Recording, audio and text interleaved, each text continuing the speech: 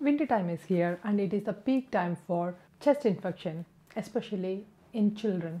So it is the right time to talk about the common causes of chest infection, what are the symptoms to look for, when to call GP and how to manage them. My name is Dr. Chitra, GP working near London. Most of the winter cough are due to viral infection. Among them, bronchiolitis is a common cause for the chest infection for the babies as well as the children under the age of 2. Bronchiolitis is very common during the winter months. It caused by a virus called respiratory syncytial virus known as RSV. This virus is very contagious. That means it spreads very quickly via cough and sneeze. So what are the symptoms for bronchiolitis? Usually bronchiolitis started with a common cold, blocked or runny nose, then start as a cough. Usually it gives temperature up to 38 degrees Celsius. These symptoms gradually get worse for the first 3 to 5 days.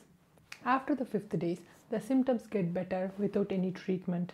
However, the cough may stay for 3 to 4 weeks time.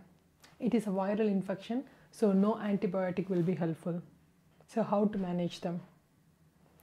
When the child has bronchiolitis, it affects their breathing as well as their feeding.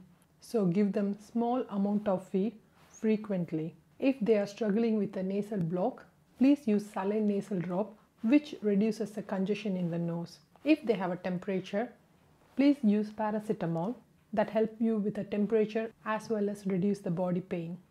Last but not least is when the child has bronchiolitis, they are very sensitive to tobacco smoke. So if you smoke, please change your clothes before handle the child and no smoking near the children. When to seek medical help? Usually, bronchiolitis is a self-limiting viral infection. That means without any medicine, children will get better within 1 to 2 weeks time. However, 3 in 100 children, that means if you take 100 children who has bronchiolitis, 3 of them need medical attention. Even though it's a very small number, it's worth knowing what to look for so that you can call your GP as soon as possible.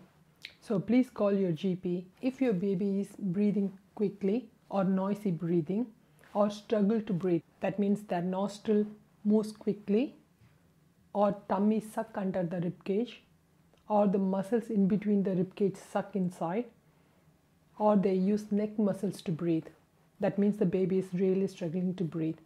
In that occasion, you have to call the GP or 111 straight away or please do take the child to A&E. Moreover, during this infection, children may not feed properly, so dehydration is very common. If your child is not drinking half of their usual feed or there is no wet nappy for more than 4 to 5 hours, that means your baby may need IV fluids. In that occasion, you have to take the child to A&E. To conclude, bronchiolitis is a very common viral chest infection affect the babies less than 2 years old during the winter period. If your child is not feeding properly or they are struggling to breathe, then you have to contact the GP or 111 service straight away. I hope this information is useful. If you like this video, please thumbs up and subscribe to our channel. Thanks for watching.